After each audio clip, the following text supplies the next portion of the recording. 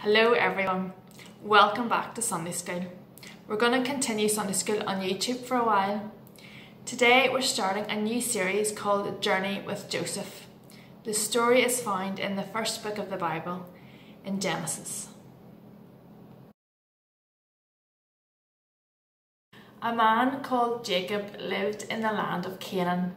He had 12 sons, but his favourite son was Joseph. Jacob gave Joseph a special coat, and when his brothers saw that their father loved him more than them, they hated Joseph. One night, Joseph had a dream, and when he told his brothers the dream, they hated him even more. Joseph dreamt that they were out in the fields tying up sheaves of corn, when suddenly his sheaf rose up while his brother's sheaves bowed down to his. Then Joseph had another dream. He told his brothers that in this dream the sun, the moon, and the stars all bowed down to him. The brothers said to Joseph, Do you actually think you will rule over us? These dreams that Joseph was having weren't ordinary dreams. They meant something because they came from God.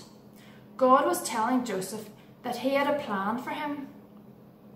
One day, while the brothers were out grazing their sheep, their father sent Joseph to see if all was well with the flocks.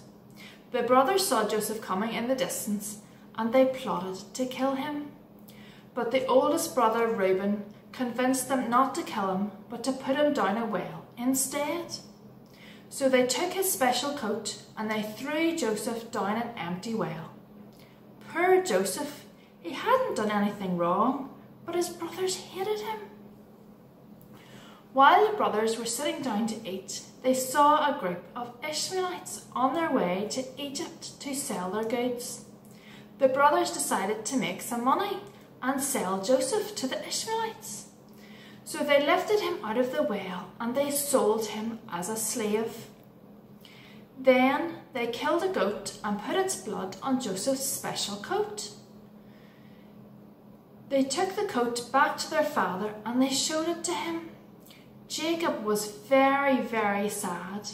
He thought a wild animal must have killed Joseph.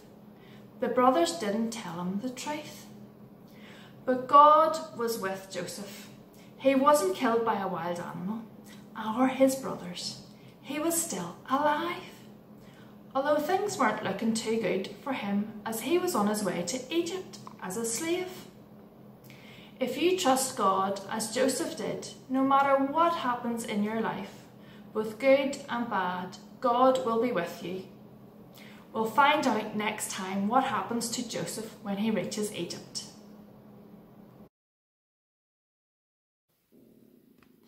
We're going to have one memory verse throughout this story of Joseph, so hopefully by the last part of the story you will be able to remember it. The verse is, You intended to harm me, but God intended it for good. It's found in Genesis chapter 50, verse 20a. Can you say it with me? After two. One, two. You intended to harm me, but God intended it for good. Genesis chapter 50, verse 20a. Well done. Let's close our eyes and pray to God. Dear Lord, Thank you that no matter what is happening in our lives, if we trust in you, you will be with us every step of the way. Amen. Our song today is Our God is a Great Big God. Have fun singing along and doing the actions.